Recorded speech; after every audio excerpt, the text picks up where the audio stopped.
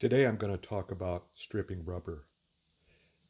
This is a process that is done primarily when you're flying indoor duration model airplanes like penny planes or Science Olympiad planes in order to match the rubber to the prop.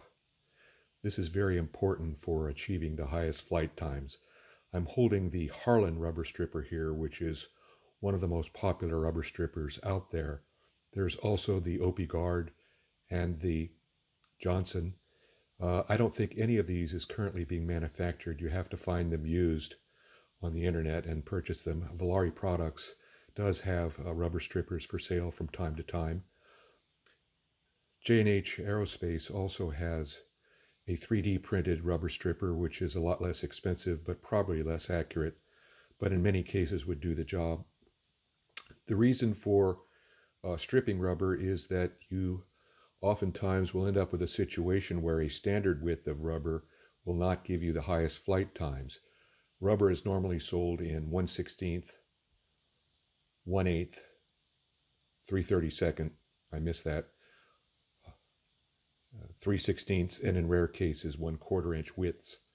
Um, it's important to understand that commercial rubber uh, varies in thickness, typically from about 0.040 inches to about 0.044 inches.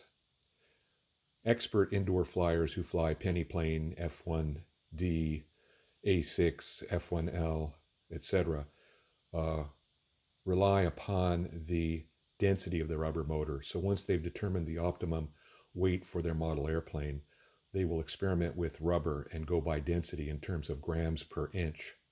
Um, novice flyers, particularly those in Science Olympiad, will just uh, use the width, the nominal width of the rubber, if they are fortunate enough to be able to strip rubber. The alternative to stripping rubber is to vary the pitch of the prop.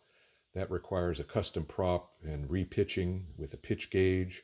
It's a very complex and delicate operation to ensure that both blades are identically pitched and so forth.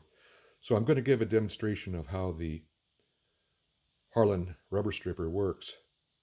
Um, you can see it's got a rectangular frame. It's got a crank. It has a couple of cylinders that have steel cutting blades on them. And here you can see it has a couple of what we call fences.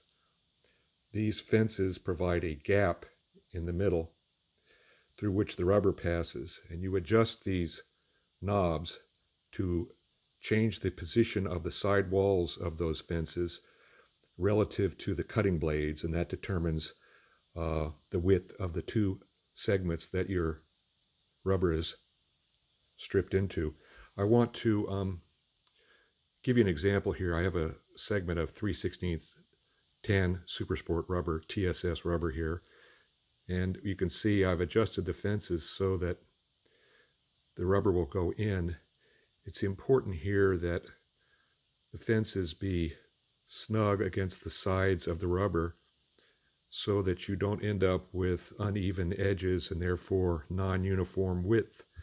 But if you tighten it up too tight, um, I'm out of focus there, or out of frame.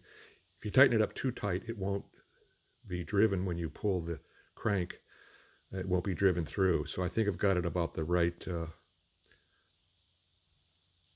width there. So let's crank and see what happens. Okay, you can see that we're splitting into two segments of rubber. Let's go ahead and complete the process here.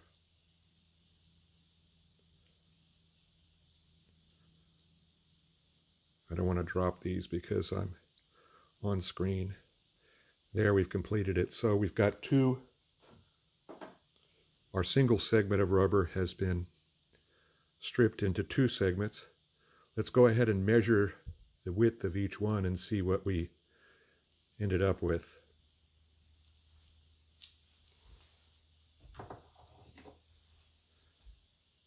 Here I have a digital thickness gauge. These are available on Amazon for about $29. Let's turn it on, zero it out. Let's measure it here. You don't want to squeeze too hard or too light. 0.089. So I have stripped a 0.089 inch wide segment of rubber from that 3 16th inch wide section of standard width rubber, which uh, decimal equivalent is about 0.187. So let's measure the other segment.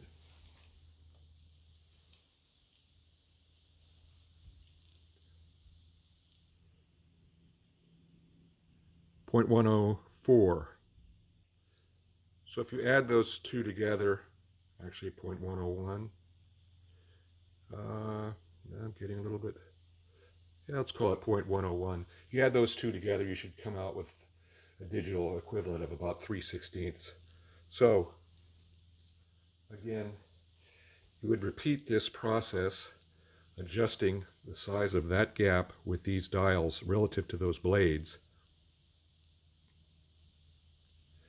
And then ultimately, when, once you get the rubber width that you desire, you would then strip a longer segment that would give you the weight of the rubber motor you're seeking. In the case of uh, this year's flight event for Science Olympiad, you would go for uh, something close to two grams. And uh, I'll do a, uh, a video on how to tie a rubber motor so that you don't waste rubber and you get as close to the target weight as you want for example, um, two grams. And that's all for now.